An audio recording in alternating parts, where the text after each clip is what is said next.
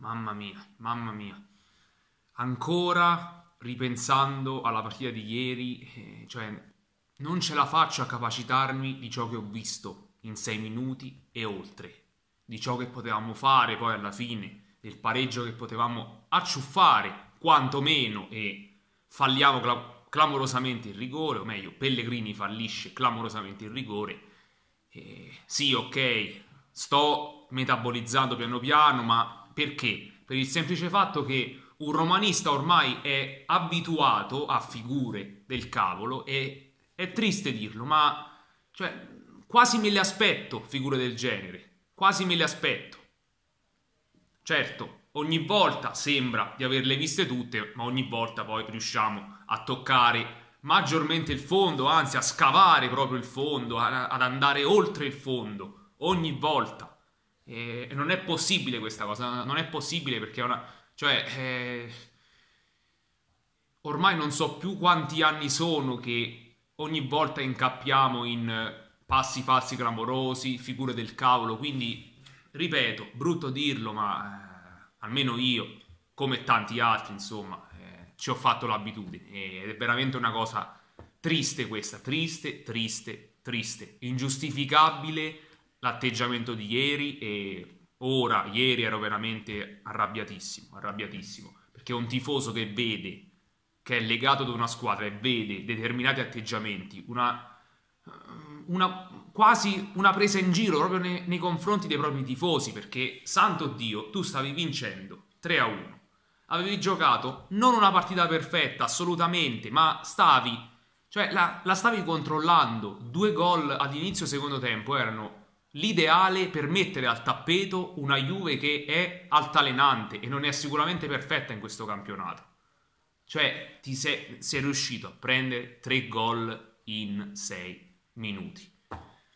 Boh, non so che dire. Eh, innanzitutto vi saluto e ben ritrovati a tutti in questo nuovo video. Se non l'ho già fatto, ma la mia mente è altrove. Quando parlo di queste cose mi distraggo perché proprio ripenso a ieri e a tutte le cose che sono successe. Quindi perdonatemi, magari se sono eh, ripetitivo in alcune cose. Iscrivetevi, campanella mi piace, ditemi la vostra qui sotto nei commenti riguardo eh, Roma-Juve, ma riguardo la Serie A, questa giornata di Serie A in generale che si, ehm, che si concluderà tra l'altro eh, domani con, ehm, con scusate con Cagliari-Bologna, non ritrovavo il match, tra l'altro oggi bruttissima sconfitta della Fiorentina, ma poi a fine video, insomma, o meglio, nella seconda parte del video parleremo eh, degli altri match, dell'Inter che comunque eh, continua ad essere solida, ma non scappa perché ha una partita in meno, un punto in più sul Milan che però tiene eh, vincendo 3-0 a Venezia.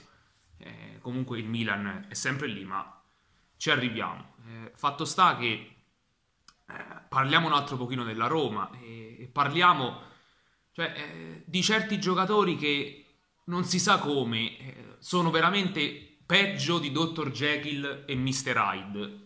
Fanno magari una partita buona fino ad un certo punto, ottima fino ad un certo punto, poi si spengono, si spengono. E basta che la Roma prenda un gol, quindi incappi in una situazione negativa, che poi succede o rischia di succedere il finimondo, cioè non, non, riesci a risalire, non riesci a reagire e quella è la cosa più preoccupante perché tu dopo che prendi il gol del 2 a 3, quindi la Juve che accorcia le distanze, Locatelli solissimo tra l'altro e dici "Oh cavolo, ho fatto questo errore. Cerchiamo di controllare il match. Come posso fare? Ti aggiusti magari eh, tatticamente, ti fai sentire in campo o meglio, quelli che dovrebbero essere eh, i leader, insomma, si dovrebbero far sentire in campo, dovrebbero far sentire la propria pressione, voce ai propri compagni e dire, oh ragazzi, svegliamoci, abbiamo subito un gol da una squadra che si chiama sempre Juventus, ma siamo avanti 3-2, abbiamo giocato bene fino ad ora, non abbattiamoci, continuiamo a giocare come abbiamo fatto. E invece no, cioè tu crolli, mentalmente crolli, non c'è niente da fare ed è una cosa non preoccupante, di più Hai preso gol da De Sciglio, con tutto il rispetto, secondo gol in Serie A. E, e, e, anche qui ormai eh, sono francamente abituato. Noi siamo quelli che facciamo eh, resuscitare i morti ogni volta. Noi siamo quelli che facciamo fare i primi gol in Serie A o in stagione, sempre sistematicamente. Siamo quelli ehm, degli ex malefici che praticamente danno anima e corpo contro di noi, veramente con, il coltello fra i denti, con, con il sbavano sangue, non, non, gli esce la saliva dalla bocca, ma gli esce il sangue, eccetera, eccetera. Cioè, potrei continuare fino a domattina. E... Quindi sono abituato anche sotto questo punto di vista, però c'è un limite a tutto. Cioè, la cosa preoccupante è che non riesce a dare una spiegazione a quello che si è visto ieri in quei sei minuti e oltre. Non riesce a dare una spiegazione, cioè nemmeno Murigno se la riesce a dare e questa è la cosa preoccupante. Cioè lui dice abbiamo fatto un'ottima partita per 70 minuti, cioè io pensavo, conoscevo, insomma, praticamente ha voluto dire, conoscevo i problemi di questa squadra e le cose da aggiustare di là e di qua, insomma. Però credevo che cioè, lui ha lasciato intendere che, cavolo, sei in vantaggio 3-1, un minimo di gestione della partita e portarti a casa un match. Santo Dio, non è che ci siano stati poi degli episodi, magari eh, un'espulsione, un calcio di rigore che ha rianimato gli avversari e lì può succedere di tutto perché magari vanno all'arrembaggio, trovano il 3-3, eh, il 3-3 ma finisce lì, stop, cioè no, tu all'improvviso sei passato da bianco a nero, letteralmente, nel vero senso del termine. Nero perché ci hai visto, nero, non hai visto più nulla, cioè non ci hai capito più niente per 10 minuti, perché poi mettiamoci anche il rigore di Pellegrini che poteva ritirare su un match che si era capito che era un match pazzo ormai, in cui poteva succedere qualsiasi cosa, perché dopo il 4-3 della Juve, comunque la Juve eh, rimane in 10, calcio di rigore, se lo segni hai praticamente eh, 10 minuti, anzi un quarto d'ora più il recupero, perché poi è stato dato, credo, 5, sono stati dati 5 minuti di recupero, 5-6 minuti, adesso andando a memoria non ricordo, fatto sta, avresti avuto ehm, l'uomo in più in casa con tutto il pubblico che è spettacolare. Il pubblico romanista, la tifoseria romanista è spettacolare, ragazzi. E, e avresti potuto magari portarti a casa il match, sì, in un modo rocambolesco. A quel punto ci sarebbe stato anche eh, eh da recriminare, ma nel senso, oh, cioè svegliatevi, stavate vincendo. 3-1, vi siete fatti recuperare e poi l'avete portata a casa. Un po' di fortuna, Ok, ma sarebbero stati tre punti, sta- sarebbe stato al massimo, cioè peggio che poteva andare un punto, che era comunque eh, un'occasione persa per come eh, avevamo, avevamo, messo noi con le nostre capacità la partita, cioè in- inspiegabile, cioè io al rigore eh, mi sono spazientito anche io che sono di carattere abbastanza mite, insomma mi sono spazientito veramente, volevo spaccare qualcosa perché ho detto, cavolo, già hai subito tre gol, ma almeno il rigore, ma lo vuoi segnare? Ma, ma vabbè, avete capito insomma. Fatto sta che mi riallaccio un attimo al discorso Murigno e non sono nemmeno d'accordo con che sì avrà fatto i suoi errori di là e di qua, ma bisogna puntare su di lui perché questa è l'ultima spiaggia per la Roma. Poi per carità potrà succedere qualsiasi cosa in futuro, nessuno lo potrà sapere. Però ne sono passati tanti a Roma. Come disse Carlo Zampa qualche tempo fa, se non ci sa mettere le mani Murigno, mettiamoci l'anima in pace perché e, e veramente guardiamoci il calcio oppure dedichiamoci, dedichiamoci ad altro perché eh, non, si potrà, cioè, non si potranno risolvere tali problemi. Cioè, se non riesce a risolverli eh, lui, un allenatore del genere, che aspettavamo da anni un allenatore del, ca- eh, del suo calibro, veramente no, non so cosa pensare, non so cosa si possa fare. Quindi andiamo anche contro e spegniamo le polemiche sotto questo punto di vista di, di chi dice eh, Mourinho out di là e di qua. No, no e no, bisogna continuare con Mourinho assolutamente. Bisogna continuare perché è l'unica ancora di salvezza. Poi Certo, progetto di tre anni, il primo anno doveva servire comunque a mettere delle basi buone e non è detto che, che non lo si possa fare ancora, per carità, Certo, è un momento difficile, ma se ne esce tutti insieme, senza cacciare nessuno, senza gridare allo scandalo di là e di qua. E più di questo non so che dirvi, ragazzi. Parliamo un po' del resto.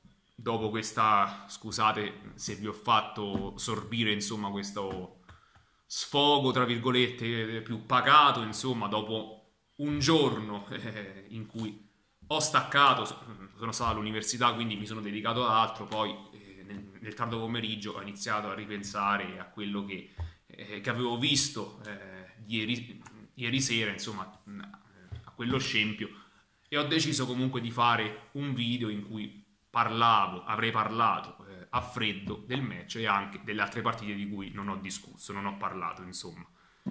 Eh, fatto sta, tema caldo della serata di ieri, oltre al rocambolesco Roma-Juve, Inter-Lazio 2-1, una Lazio comunque che eh, si dimostra migliore, migliorata rispetto ad altre situazioni passate, anche eh, la scorsa giornata ad esempio, però alla fine l'Inter con un super, super bastoni, super prestazione, eh, gol eh, del vantaggio per lui, poi ehm, pareggio di immobile e poi Skriniar a 67esimo segna, sigla il 2-1, quindi due difensori centrali che mettono a segno, eh, fa, eh, permettono all'Inter di portare a casa di portarsi a casa tre punti importantissimi. L'Inter è una squadra solida, ma da tempo, insomma, cioè, si diceva, anche io l'avevo detto, che a livello di rosa è, delle, è la squadra più completa, eh, più completa e che ha più potenzialità secondo me e infatti piano piano, piano piano, sempre rimasta dietro Milan e Napoli, Napoli e Milan, sbuca l'Inter e mette d'accordo tutti, almeno per il momento. Quindi eh, grandi sotto, sotto, questo punto di vista, grandi veramente e grande il lavoro che sta facendo Simone Inzaghi perché avrebbe, cioè, eh, con l'addio di Conte, eh, il contraccolpo c'era, cioè eh, c'è stato inevitabilmente, però Simone Inzaghi si sta dimostrando eh, un bel allenatore, un bel allenatore. Poi la goleada del Sassuolo e questa eh, non me l'aspettavo, sì ok, l'espulsione per eh, per l'Empoli che ammazza la squadra toscana praticamente, poi tre gol eh, in mezz'ora per quanto riguarda il Sassuolo. Fatto sta che già il Sassuolo aveva chiuso il primo tempo in vantaggio. Il Napoli di misura comunque c'è, c'è, non è importante vincere 1-0 o 6-2 come ha fatto l'Atalanta, è sempre una vittoria, cioè sono sempre tre punti, è, importante solo per le statistiche e per un possibile arrivo a pari punti per la differenza reti. Atalanta che vince 6 a 2, ma non è questo il valore dell'Udinese perché è un, un'Udinese scossa nell'animo, decimata. Eh, fatto sta che però non è nemmeno colpa dell'Atalanta se, se l'Udinese ha tutti questi casi di Covid. Eh, L'Atalanta ha fatto il suo, eh, 6, 2, 6 a 2, dilaga poi nel, ehm, nel secondo tempo il Milan si mantiene dietro l'Inter e attenzione al Milan perché non è che, non è che stiamo parlando di un Inter in fuga, comunque è ad un punto sopra il Milan, sì, ha, ha una partita in meno, potrebbe andare a più 4, però comunque, eh, cioè al massimo il Milan sarebbe a 4 punti dall'Inter, non tanto distante, quindi il Milan, eh, tra l'altro un capitano del Milan, se non erro, dal 2014 non segnava una doppietta, in questo caso Teo Hernandez l'ha messa a segno, 2014 Kakà, se non erro, quindi pensate che tempi erano, ormai 8 anni fa, 7-8 anni fa, insomma. Fatto sta, eh, Venezia-Milan 0-3, eh, anche qui un'espulsione per il Venezia. Lo Spezia, gran colpo al, eh, a, Genoa, eh, a Genova, scusate, e Shevchenko, almeno eh, a quanto sembra, posizione in bilico, panchina in bilico, ma chi gliel'ha fatto fare a lui? Certo, comunque, eh, gli hanno offerto un, con- un contratto.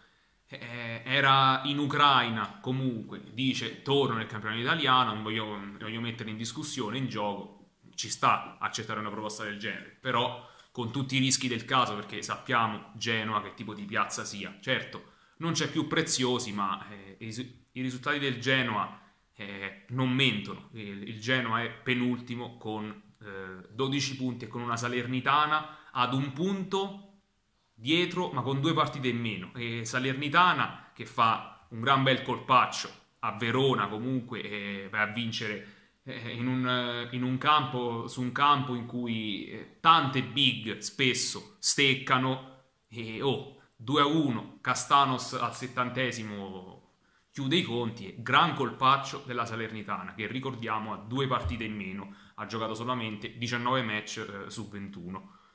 E poi, poi, poi, eh, la partita di oggi, eh, me ne stavo dimenticando, Torino-Fiorentina, che dire, la Fiorentina che non scende in campo di fatto, e Fiorentina che proprio nell'atteggiamento, nel, nell'approccio al match completamente eh, fuori luogo, fuori luogo. Eh, partita storta, partita storta, speriamo per loro che sia solo una, insomma, che non, che non, eh, che non lasci strascichi questo, ehm, questi match, anche perché eh, cioè, eh, ne so bene, insomma, ne so bene di queste cose. Cioè, eh, come vi posso dire, anche sempre qui, eh, ritornando al discorso Roma, quante volte la Roma ha preso scoppole pazzesche e poi se, queste, eh, queste, brutte sconfitte se le è portate dietro nel corso delle, delle giornate successive e dei turni successivi. Quante volte è successo? Quindi purtroppo anche questo l'ho vissuto sulla mia pelle e, che dire, Singo, Brecalo, Doppietta e Sanabria mettono a tappeto, a sorpresa, una Fiorentina, ma eh, per carità, poteva anche starci una, una vittoria, un exploit del Torino, ma 4-0 e Fiorentina surclassata sotto tutti i fronti, eh, proprio no, insomma. E domani, eh, dicevo, già me ne sono dimenticato, ok, Cagliari, eh, il match che chiude questa ventunesima giornata di Serie A. Queste partite sono state posticipate appunto per, eh, per il Covid, per i casi di Covid. Non ho ben capito il motivo di, questo, eh, di questi posticipi, sinceramente, però fatto sta. Quello è il, il discorso base, il Covid, sempre quello c'entra. Quindi, che dire, scusatemi per la durata del video e vi ho detto tutto quello che vi dovevo dire e alla prossima ragazzi, buona serata a tutti, iscrivetevi, campanella mi piace, ditemi la vostra qui sotto nei commenti e sempre, anche, anche e soprattutto nelle avversità, forza, forza Roma.